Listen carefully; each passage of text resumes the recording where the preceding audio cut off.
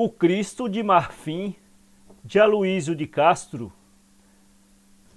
Aquele cuja mão escultou fervorosa a éfige deste Cristo em pálido marfim, buscou no sofrimento a inspiração piedosa para a imagem do Deus sem começo e sem fim.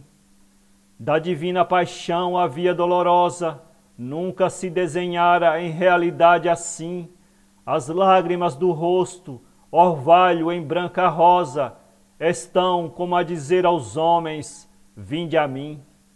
A lividez da face exânime e serena do artista reproduz toda a infinita pena, miséria e frio e fome e desalento e dor. Mas três vezes feliz aquele que padece, de esperanças ungindo levantada a prece e amando-te em verdade, ó Cristo Salvador. www.poeteiro.com